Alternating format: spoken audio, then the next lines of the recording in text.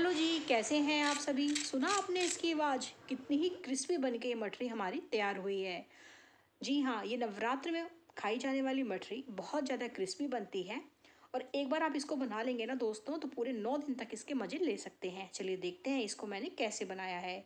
अब एक पैन ले लेंगे। पैन में हम डाल देंगे एक कप कच्ची मूँगफली। आप चाहें तो इसकी जगह जो भुनी हुई मूंगफली होती है, रोस्टेड मूंगफली भी ले सकते हैं। अगर आप रोस्टेड मूंगफली लेंगे तो ये वाला जो प्रोसेस है, आप टोटली स्किप भी इसको कर सकते हैं। दो से तीन मिनट के लिए इसको अच्छे से हम रोस्ट कर लेंगे। जब इसमें तिड़तिड़ की आवाज़ आना शुरू हो जाएगी, इसका मतलब जो हमारी मूंगफली है, अच्छे से रोस्ट हो चुकी है। एक दाना उठा के देखते हैं। ये देखिए, अच्छे से जो मूंगफली है रोस्ट हो चुकी है। इस स्टेज पे हमने गैस को बंद कर दिया था। अब मूंगफली को हम एक पेट में निकाल लेंगे और इसको हम टोटली ठंडा कर लेंगे। टोटली ठंडा करने के बाद ही इसको हम मिक्सर में पीसेंगे। गरम गरम में इसको नहीं पीसेंगे। अगर गरम में पीसेंगे तो इसमें से ऑयल रिलीज़ होना स्टार्ट हो जाएगा। अब मूंगफली हमारी ऑलमोस्ट अच्छे से ठंडी हो चुकी है। अब एक मिक्सर का जार लेंगे और पूरी मूंगफली को इसमें हम ऐड ऑन कर देंगे और पल्स मोड में इसको हम ग्राइंड कर लेंगे। बिल्कुल दरदरा हमने इसको देखिए पीस लिया है। इसी तरीके का जो दरदरा है, आपको पीस लेना है। अब इसके लिए हमने दो उबले हुए आलू ले लिए हैं। अब क्या करेंगे दोस्तों? एक ग्रेटर से आलू को अच्छे से हम कद्दूकस करना स्टार्ट कर देंगे। दोस्तों, इस मठरी को आप एक बार बना लेंगे ना तो पूरे नौ दिन तक आप इसको स्टोर करके रख सकते हैं, बिल्कुल भी ख़राब नहीं होने वाली हैं। शाम को जब भी छोटी मोटी भूख लगे, या वही पुराना घिसा पिटा नाश्ता अगर खा खा के बोर हो चुके हैं नवरात्र में तो आप एक बार इस मठरी को बना के देखिएगा।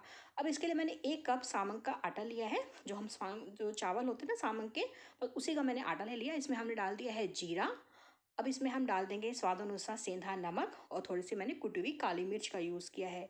आप इसमें से अगर कुछ भी अगर नवरात्र में नहीं खाते हैं तो आप उसको टोटली स्किप कर सकते हैं। अब ये जो हमने रोज़ करी थी ना मूँगफली, चार से पाँच चम्मच हम पहले डाल के देखेंगे। अगर ज़रूरत पड़ी तो उसके बाद हम इसको फिर से ऐड ऑन कर देंगे। दोस्तों, ये वाली मटरी बहुत ज़्यादा क्रिस्पी बनती है। अब एक बार इसको बना लेंगे ना तो टेंशन फ्री हो जाइए। पूरे नौ दिन तक इसके मज़े ले सकते हैं। अब इसमें हम डाल देंगे फ्रेश हरा धनिया। इसमें हमने कोई भी चीज़ ऐसी नहीं डाली है दोस्तों, जो व्रत में नहीं खाई जाती है। और मैंने दो चम्मच इसमें डाला है मूंगफली का ऑयल मूंगफली का ऑयल तो हम व्रत में खाते ही हैं। अब हाथों से अच्छे से इसको हम मिक्स करते जाएँगे और इसमें ना एक मुट्ठी बनना स्टार्ट हो जाएगी। मुट्ठी जब बनना स्टार्ट हो जाएगी, इसका मतलब जो हमने मोइन डाला है वो बिल्कुल परफेक्ट है मठरी के लिए। इससे जो होगा, मठरी में एक खस्तापन आएगा और सॉफ्टनेस भी आएगी। जो हमारी मटरी को खस्तापन तो देगी ही और साथ में बहुत ज़्यादा सॉफ्ट बनाएगी। अब जो बाकी जो मूंगफली थी, वो भी हमने इसमें ऐड ऑन कर दी है और थोड़ा थोड़ा अब इसमें हम पानी डालेंगे। बहुत ज़्यादा पानी नहीं डालेंगे। कई बार तो आलू में ना दोस्तों मॉइस्चर ज़्यादा होता है तो आलू के मॉइस्चर से ही जो आटा है अच्छे से गूंद जाता है। मतलब नॉर्मली जैसे हम व्रत वाला आटा गूंदते हैं ना दोस्तों, उसी तरीके से आटा हम इसका गूंद के रख लेंगे। थोड़ा थोड़ा पानी डालिएगा। तकरीबन दो से तीन चम्मच मेरे को पानी के इसमें लगे हैं। इससे ज़्यादा पानी का भी यूज़ मत करिएगा। ये देखिए, आटा जो है हमारे अच्छा से गूंद चुका है। ये मैंने सामक का आटा का यूज़ किया है। अगर आप चाहें तो आप कुट्टू का या सिंघाड़े का कोई भी आटा इसमें यूज़ कर सकते हैं। अगर आप बिना व्रत के अगर बनाना चाहें तो आप गेहूँ के आटे से भी इसको बना सकते हैं। बहुत ज़्यादा टेस्टी ये बन के तैयार होएगी। अब थोड़ा सा ऑयल हम ऊपर से इस तरीके से इसको चिकना कर देंगे और इसको हम ढक के रख देंगे पाँच से सात मिनट के लिए ताकि जो आटा है अच्छे से वो रेस्ट हो जाए। तब हम अगला प्रोसेस स्टार्ट करेंगे। दोस्तों, ये जो मटरी है ना, एक बार आप बना लीजिए, बिल्कुल टेंशन फ्री होने वाले हैं और बहुत ज़्यादा टेस्टी बन के तैयार होती हैं। ये देखिए दोस्तों, पाँच से सात मिनट हो चुके हैं। जो आटा है, अच्छे से रेस्ट हो चुका है। ये आटा ना थोड़ा सा चिपकता है दोस्तों तो आप पहले से हाथों को ऑयल से ग्रीस कर लीजिए। अब इसमें छोटा छोटा सा एक पोर्शन लीजिए और इस तरीके से राउंड राउंड करिए। और हथेलियों से इस तरीके से ऐसे प्रेस करेंगे ना तो एक मट्ठी की शेप बन जाएगी। इस तरीके की मट्ठियाँ देखने में तो सुंदर लगती हैं, खाने में उससे ज़्यादा मज़ेदार लगती हैं। आप चाहे तो किसी और की शेप में भी इसको बना सकते हैं, पर मुझे गोल ही पसंद है तो मैंने इसे गोल ही बना ली है। अब मैंने एक तरफ़ ऑयल रखा हुआ था गर्म होने के लिए, अब मीडियम हॉट ऑयल में इसको हम फ्राई करना स्टार्ट कर देंगे।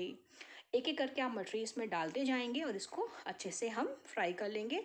पहले जो हम गैस की फ्लेम रखेंगे, बिल्कुल लो रखेंगे, लो फ्लेम पे इसको हम धीरे, धीमी आँच पे इसको हम सेकेंगे, क्योंकि सामक का आटा डाला है, सामक आटा बिल्कुल भी कच्चा नहीं रहना चाहिए मटरी में, इसलिए धीमी धीमी आँच पे इसको हमको सेक लेना है। जब थोड़ी सी ये सुनहरा, हल्का सा कलर पकड़ लेगी, फिर इसकी जो गैस की फ्लेम है, इसको हम मीडियम कर देंगे। अब उलट पुलट के इसको हम अच्छे से फ्राई कर लेंगे और बिल्कुल सुनहरा कलर आने तक इसको हमें अच्छे से इसको फ्राई कर लेना है। दोस्तों, ये मछली बहुत ज़्यादा क्रिस्पी बनती है मतलब बाहर से क्रिस्पी और अंदर से बिल्कुल सॉफ्ट बन के तैयार होती है। आप इसे पूरे नौ दिन मज़े से खा सकते हैं। नौ दिन इसको एक बार बना लीजिए, पूरे नौ दिन इसको स्टोर करके रख लीजिए, बिल्कुल भी ख़राब नहीं होते हैं। ये मटरी बिल्कुल भी ख़राब नहीं होने वाली है दोस्तों। अगर आप ऑफ़िस गोइंग हैं, आप इसको बच्चों को टिफ़िन बॉक्स में भी पैक करके दे सकते हैं। अगर बच्चे भी नवरात्र रख लेते हैं तो आप इनको टिफ़िन बॉक्स में पैक करके दे सकते हैं। या अगर आप ऑफ़िस गोइंग हैं, तब भी आप इसको पैक करके लेके जा सकते हैं। अब इसी तरह हम दूसरा बैच भी फ्राई कर लेते हैं। इसको भी हम पहले लो फ्लेम पे फ्राई करेंगे। जब थोड़ा सा अच्छा सा इसमें कलर आ जाएगा, फिर इसको गैस की जो फ्लेम है, वो हम मीडियम कर देंगे दोस्तों। दोस्तों, अगर आपको मेरी वीडियोस अच्छी लगती हैं प्लीज़ लाइक शेयर सब्सक्राइब ज़रूर करिएगा मेरे चैनल को। ये देखिए, खस्ता करारी जो मठरी है ना, हमारी बन के तैयार हो चुकी है। आप इस मटरी को दोस्तों कब ट्राई करेंगे कमेंट करके मुझे ज़रूर बताइएगा और अपने फीडबैक्स ना मेरे साथ ज़रूर शेयर करा करिए। और अगली रेसिपी मैं आपके लिए कौन से लेके आऊँ नवरात्र के लिए मुझे कमेंट करके ज़रूर बताइएगा। वीडियो आपको कैसी लगी? प्लीज़ एक छोटा सा कमेंट ज़रूर करके बताइएगा। एक छोटा सा लाइक भी कर दीजिएगा। वीडियो अच्छी लगी आपको तो कमेंट ज़रूर करिएगा। मिलते हैं नेक्स्ट